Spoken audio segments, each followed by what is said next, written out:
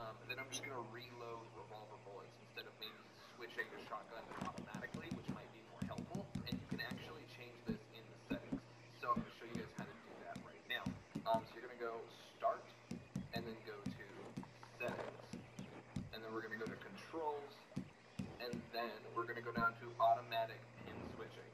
Um, and you'll see here, I'll read it out, but it says, when using the LeMat revolver, choose whether to automatically switch ammo types to use the shotgun shells once the revolver cartridges have been depleted, and vice versa. Tap to the right while aiming the LeMat revolver to toggle between shotgun and revolver firing modes. So I'm going to turn this on, and then show you guys what that looks like. Oh, there's like some, some shooting going on. Uh, the LeMat revolver, choose whether to automatically switch ammo types to use the shotgun shells once the revolver cartridges have been depleted, and vice versa. Tap to the right while aiming the LeMat revolver to toggle between shotgun and revolver firing modes. So I'm going to turn this on, and then show you guys what that looks like. Oh, there's like some, some shooting going on. Uh, here, okay, so, take this out.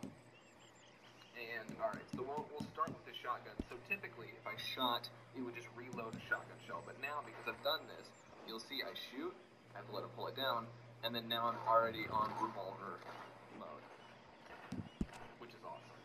Um, and I'm just going to keep firing, and then, boom, he loads the one shot, and then it's the shotgun, and then, boom, shotgun again, and then you'll see now I'm reloading the the gun uh, for the revolver. So it's really useful for winning gunfights. Um, it's really useful. It's just you know if you're if you're in a situation where you fire that many bullets in a row, you probably need that, extra shot um, from your shotgun. And uh, I, I thought it was super useful. I saw this on Reddit. I can throw this up right now if I can. But as I'm recording this, Reddit is down, so I went to take a screenshot.